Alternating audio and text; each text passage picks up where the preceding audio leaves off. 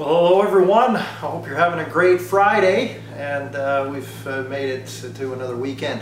And I've been thinking about a couple of humble things today. Uh, first of all, I've been thinking about uh, uh, the uh, toilet paper.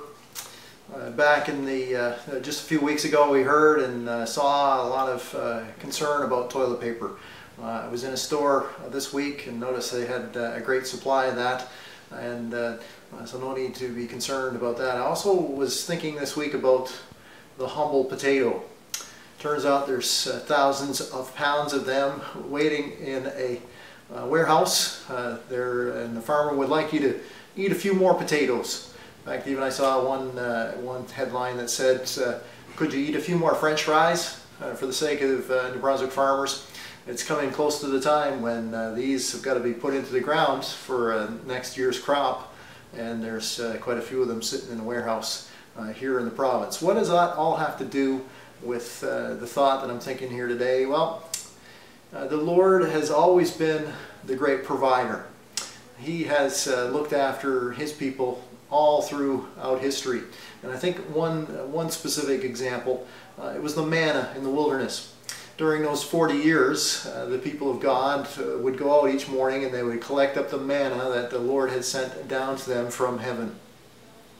And they were to pick up enough for the day. They didn't need to pick up any more than that uh, because uh, if they did, uh, what they had left over from the day before uh, would go bad. And it wasn't any use to them anyway. And the Lord was showing them through that that they needed to put their trust in Him. And uh, even in this time, we need to remember that we need to put our trust in Him. We've uh, had to have some different faith muscles exercised over the last little while.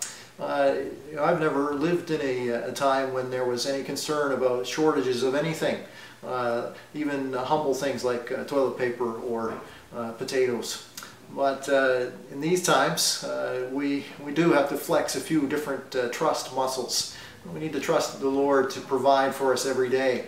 Uh, didn't He teach us, uh, give us this day our daily bread, uh, our bread for today, uh, and uh, we can know that He will provide that for us. So, uh, no jokes for you today. In fact, when you get these two things involved, the jokes kind of write themselves. So, I hope you're having a great day, and I want to leave you with this thought. It's from Joshua chapter 5, verse 12. It says there that uh, when the people of Israel ate the food from the land of Canaan, the very next day the manna stopped. That year they ate the produce of the land of Canaan. Uh, that uh, rings out true to me that uh, the Lord is the one who is our provider. He's looking after us and He'll provide for us every day. Lord, we ask, give us this day our daily bread. Help us to keep depending on you. Now folks, I want you to check your email a little later today. There's going to be some information there about uh, what we're planning for Sunday. Uh, so uh, check your email. Uh, make sure you get the instructions about that. And uh, I trust that you're having a great day. Uh, have a great day and God bless you.